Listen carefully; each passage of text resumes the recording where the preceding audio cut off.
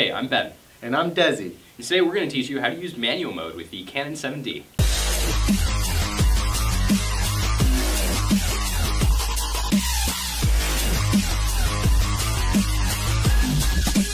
So in manual mode, there's four main things you have to look out for. Aperture, Shutter speed, ISO, and white balance. So now that you're all grown up, you can use manual mode. That's the switch that says M over here. Instead of having the camera automatically choosing the settings for you uh, based on your environment, now you can choose your settings yourself. This allows for a more creative take on uh, what you want to do.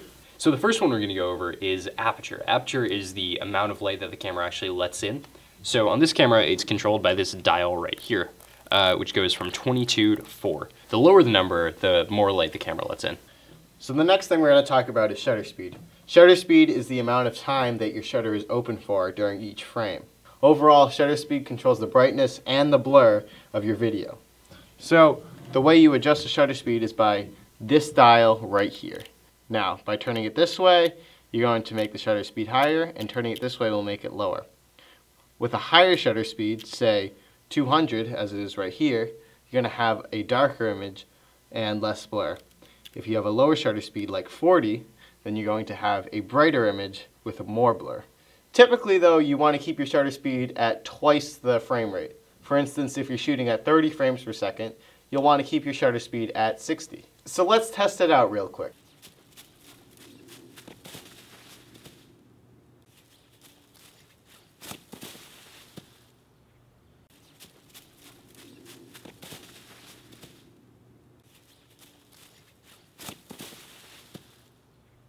Next up is ISO. ISO, basically what it does is it digitally adjust the brightness of your image.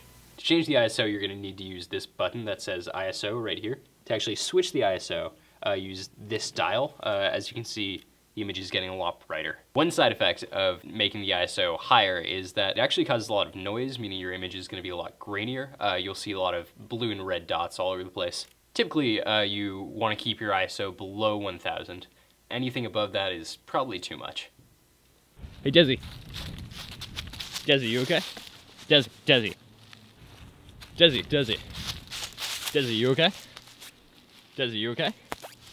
So the next thing we're going to talk about is white balance. Now white balance controls the color temperatures of your image. It controls whether the white in your image looks more orangey or it looks more bluish.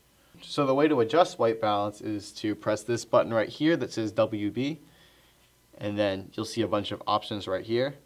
Right now this one's set to daylight. You can set it to shade, cloudy, tungsten, a whole bunch of different options, and auto. As you scroll through the white balance options, just find something that looks most natural to you.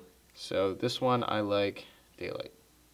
Thanks for watching this tutorial about manual mode. Good luck with your projects. And see you next time.